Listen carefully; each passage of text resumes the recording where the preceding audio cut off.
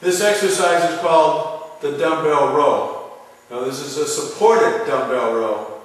And eventually we will demonstrate the unsupported dumbbell row. The advantage of using a supported dumbbell row is if you've just finished up doing a heavy set of deadlifts, your back's going to be tired. If you've done a heavy set of squats, your back's going to be tired. However, you still need to be able to work your upper back. And the dumbbell row is an ideal one. And I'll show you what this looks like. Just going to do the one side, because they both look the same. Put your knee on the bench. I like to put my hand down here like this or like this. It doesn't matter. However you want to put your hand down. If you're really flexible, it's going to be easy going any way you want to. This is the way I like to do it right here. Grab yourself a dumbbell, and notice it's going to come straight up, high elbows, straight down. There it is.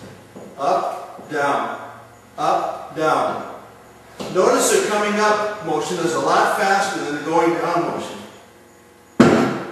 For the simple fact is, I want that concentric power build up.